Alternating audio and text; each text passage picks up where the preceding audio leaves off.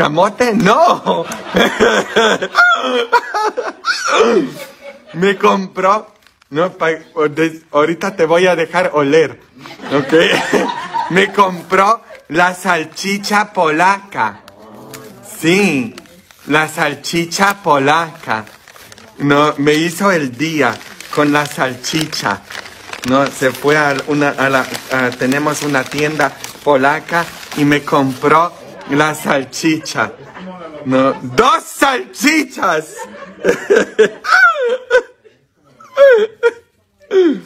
Mm, huele bien, bien rico. Mm, son bien ricas. Ahorita no me voy a, no me voy a, mm, se me antoja comer poquito de esto, pero no puedo porque me va a oler la boca. No. y después para, eh, para saludarlos, Dios mío santo. Miles de gracias por mi salchicha. ¿Me la, me la guardas ahí? Por favor, no la des a nadie. Okay. No le den a nadie a mi salchicha. Ok. Llegando y compartiendo. Mm, llegando y compartiendo. O el otro día en el estudio de la Biblia eh, en inglés eh, canté yo. ¿Vieron la, la, canción que canté yo en inglés? ¿No? And I'm sexy and I know it. Pero eso los hace alegrarse la noche, ¿verdad? Muchas veces viene gente conmigo y me sacan de onda. ¿no? Me hablan de cosas que, pero nunca me burlo cuando me hablan de agua de calzón o de otras cosas. ¿eh? Tengo que escuchar todo eso. ¿eh? Pero nunca me burlo de nada cuando me cuentan cosas. ¿eh?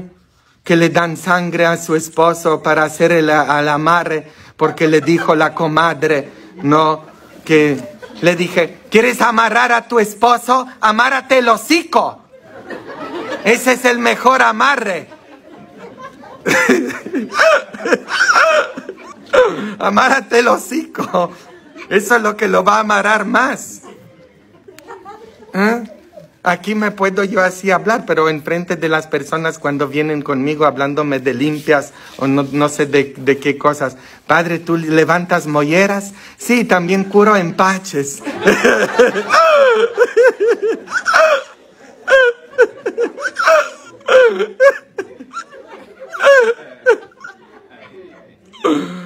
Ay, hasta yo me puse colorado. Ah. Perros comen tan rico aquí en Estados Unidos que hasta a veces a mí me da ganas de... No.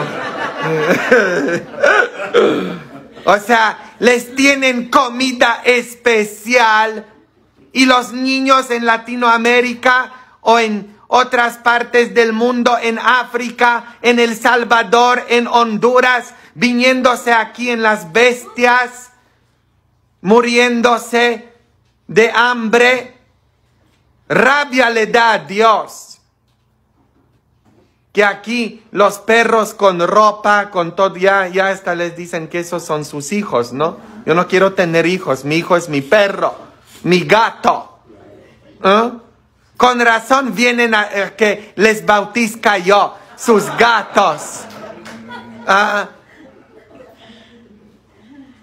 Después van a querer primeras comuniones y confirmaciones para los gatos y perros. ¿ah? En hebreo, ¿cómo se dice maestro? Rabbi. Pero yo me puse a ver el lenguaje original aquí, el griego original del Nuevo Testamento y dice Rabbuni. Rabbuni, ¿qué quiere decir? Con tanta ternura, con tanto cariño, con tanto amor. Es como decir Dieguito en vez de Diego. O en vez de decirle concha, conchita. ¿ah? En vez de decirle cuca, cuquita. En vez de decirle, no, pilar, le dices pili. ¿ah? No. ¿Están entendiendo ustedes? Se acerca con tanto amor, como yo me acerco con todos ustedes siempre. Les hablo yo tan bonito a ustedes, ¿verdad? Con mucho, mucho amor. ¿Ah? Así se acerca ese hombre con Jesucristo y así nos tenemos que acercar con Él también, ¿eh? unos a otros. Solamente dos veces en la Biblia alguien le dice Rabuni al Señor Jesús. ¿Cuál es la segunda vez? Ustedes todos leen la Biblia, yo estoy casi seguro.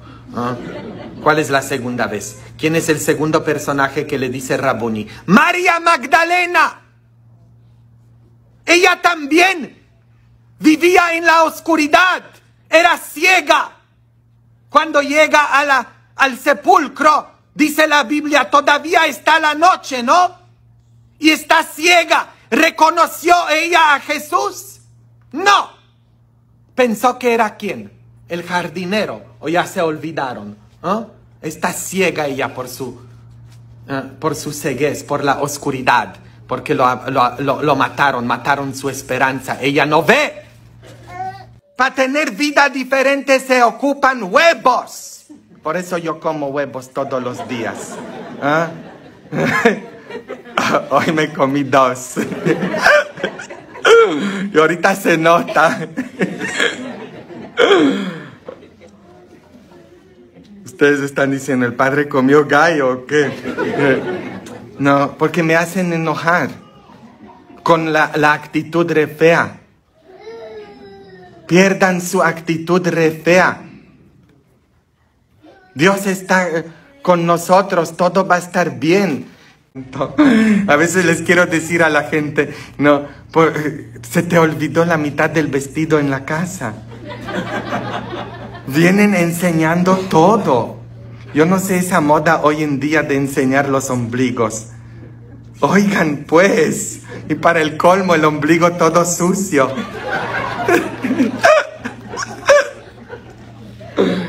No entiendo yo eso. Pero jamás se me va a olvidar. Ya voy a cerrar el sermón porque yo sé que ustedes tienen que ir a trabajar, ¿verdad? Mañana. Ok, entonces no me voy a extender tanto. ¿Ya te vas, mi amor? ¿O no? Ella va por agua bendita. Ok, perfecto. ¿Hay agua bendita todavía? Ok, perfecto. Hice más agua bendita y leche de agua bendita perrona también. ¿Ok? Es la agua bendita exorcizada. Ok, pero en un bautizo, eso de veras, me pasa cada cosa de veras. Como hace, hace un tiempo, yo siempre tengo, siempre tengo esa costumbre eh, de bendecir a las señoras panzonas eh, embarazadas, ¿verdad? No porque se nota que están embarazadas. Entonces, en, en la cola de la comunión hubo un colazo fuerte, ¿no? Un colazo tan grande para la comunión y veo a una, ¿no? Y se, se acerca, yo extiendo mi mano para bendecirle la, la panza, ¿no? Su bebé, ¿no? Extiendo la mano así y ella me dice, Padre, ¿qué hace? Yo le digo, bueno, pues te voy a bendecir a tu bebé. Y ella me dice, ¿cuál bebé, padre?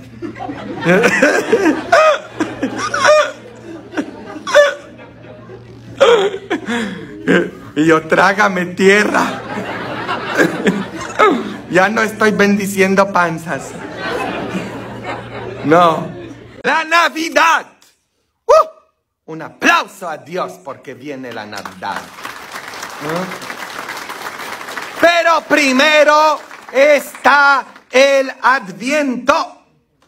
Y en el adviento, ¿qué se hace? ¿Qué estamos esperando? Que nazca un niño. Para que nazca un niño, ¿qué tiene que hacer?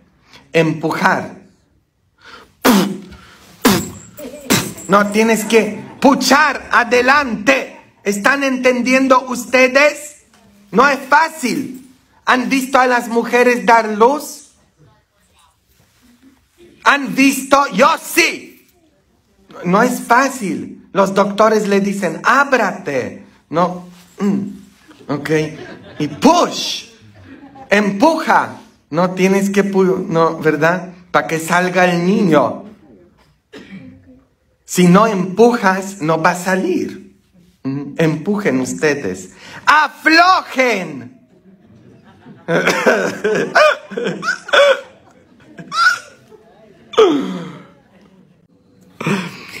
En uno de los centros de rehabilitación eh, para la drogadicción donde estaba yo involucrado, un muchacho ya vino bien desesperado y era un centro obviamente católico.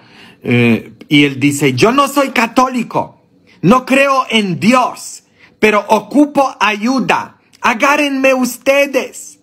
Y nosotros le dijimos que él no tiene que ser creyente para participar en todo lo que nosotros hacemos. Pero si hay oraciones o hay misa o lectura de la Biblia, él tiene que participar. Y él accedió. ¿ah? Y un día le dio una lectura de un salmo, de leer. Y comenzó él a leer el salmo de la Biblia. Y empieza él a leer ese salmo, a llorar profundamente. Y me dice, Padre, te agradezco tanto que me hayas escrito este poema sobre mi vida. Le dije, este es un, un salmo que tiene miles de años.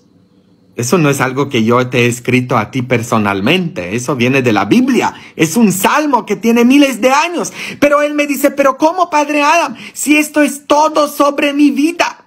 El salmo decía, la tierra se me fue debajo de mis pies, mis enemigos se burlan de mí y me señalan cuando voy caminando en la calle. Y él me dice, Padre Adam, yo no siento tierra debajo de mis pies. No siento ningún piso debajo de mis pies. No traiga, no traigo nada de dinero, me dice él. No tengo dónde vivir porque mis papás me botaron de mi casa. Y mi papá me dijo cuando me estaban botando de la casa, salte para afuera, eres nada, eres un inútil. Eres una vergüenza para mí y toda la familia. No tengo a nadie, me dice él. Y sabes, cuando voy yo caminando en la calle, me señalan. Ahí va, el drogadicto, dicen, cuando me ven a mí. ¿Mm? Se burlan de mí, se alejan de mí por cómo apesto yo porque no tengo donde bañarme, porque vivo en la calle. Esto que me diste de leer habla de mí. Es mi vida.